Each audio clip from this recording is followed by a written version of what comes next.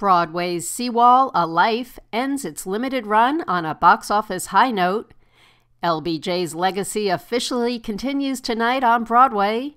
And exciting news for fans of Disney's Frozen. All coming up on today's Broadway Scoop. Good morning, theater fans. I'm Karen Robbins with the Broadway Scoop for Tuesday, October 1st. The Broadway production of Sea Wall A Life saw its highest grossing week as it played its final week of performances at the Hudson Theater.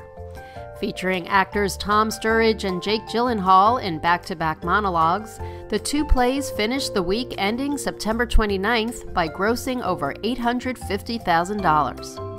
Other productions enjoying a profitable week at the box office included Jeremy O. Harris's Slave Play, which played to over 92% capacity in its third week of previews, and Beautiful, the Carole King musical, which played to more than 98% capacity.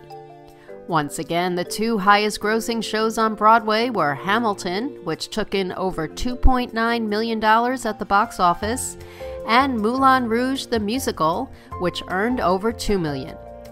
For a full recap of this week's Broadway grosses, visit BroadwayLeague.com.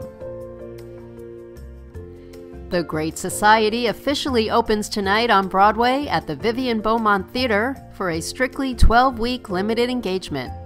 Written by Tony Award and Pulitzer Prize winning playwright Robert Schenkkan and starring Brian Cox, the drama is the companion piece to Schenkkan's Tony Award winning play All the Way and follows the tumultuous times that led to the conclusion of Lyndon B. Johnson's presidency. And good news for fans of Disney's Frozen. The soundtrack to the highly anticipated sequel, Frozen 2, is now available for pre order. Scheduled to drop November 15th, a week ahead of the film's release in movie theaters, the album will once again feature the voices of Broadway veterans Idina Menzel, Kristen Bell, Jonathan Groff, and Josh Gad, performing seven all new songs written by the Oscar winning team of Robert Lopez and Kristen Anderson Lopez. And that's the Broadway Scoop for Tuesday, October 1st.